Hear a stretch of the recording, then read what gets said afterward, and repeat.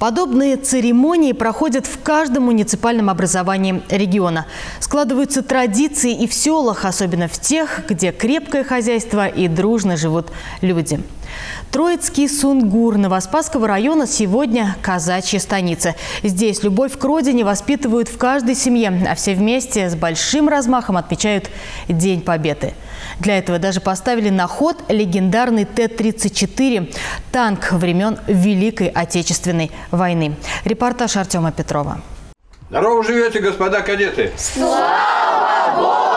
В этой сельской школе День Победы начинается встречей с теми, кто на передовой сегодня. Для юных кадетов это уникальная возможность из первых уст узнать, как российские военные продолжают дела наших предков. Урок мужества проходит в старом корпусе, но к открытию уже почти готово новое здание школы, где воспитывают настоящих патриотов. Наши ребята занимаются строевой подготовкой, огневой подготовкой, рубкой шашкой, фланкировкой. Казак без веры не казак, они у нас занимаются православием. А в местном музее уже много лет собирают уникальную экспозицию. Здесь есть как снаряды времен Великой Отечественной, так и трофеи, завоеванные совсем недавно. Часть экспонат у нас еще не было в прошлом году. Всем известная Баба Яга, дрон от системы ракетного комплекса «Хаймерс», кассетный, с кассетным зарядом. Вот у нас такой здесь есть. В конюшне станицы Троицко-Сунгурская тоже отмечают главный праздник страны. Но перед выходом на манеж для показа специально подготовленной программы большая работа проделана и за пределами арены. Лошади тоже должны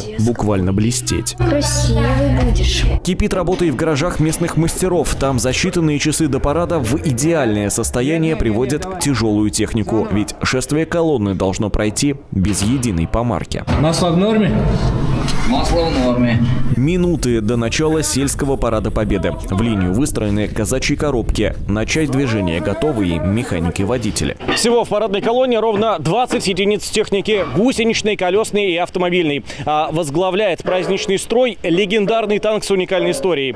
Этот Т-34 был подбит фашистами в конце Великой Отечественной. В начале 2000-х его извлекли из болота под Псковом, а спустя два десятилетия новую жизнь машине подарили мастера из Троицкого Сунгура. Первый на центральную улицу Троицкого Сунгура выходит знаменная группа. Следом команду «Вперед» получают танкисты.